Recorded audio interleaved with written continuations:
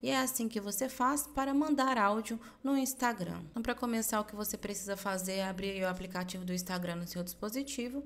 Agora, aqui com o aplicativo aberto, o que você vai fazer é clicar aí sobre o ícone do bate-papo, que está localizado aqui na tela inicial, do lado direito, aqui na parte de cima da tela. Então, eu clico aqui, o bate-papo foi aberto. Agora, o que você vai fazer é clicar aqui no botão pesquisar e digitar o nome da pessoa que você quer enviar esse áudio. Então, você clica aqui, coloca o nome da pessoa que vai aparecer e você clica nela.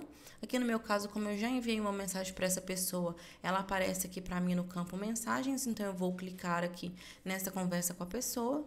Então, aqui depois de clicar na conversa, né? A conversa com a pessoa foi aberta.